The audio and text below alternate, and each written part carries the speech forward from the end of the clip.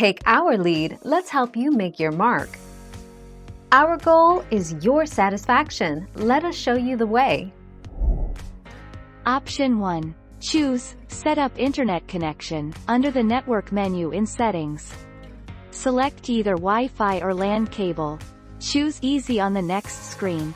Select your Wi-Fi network and enter password. Select Next to continue. Test internet connection in the network menu to test if PSN sign-in is successful.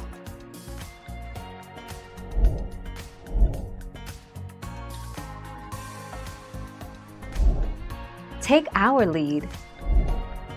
Once the error has occurred on your console, navigate to Settings greater than greater than Account Management greater than greater than Sign out in order to log out of your account.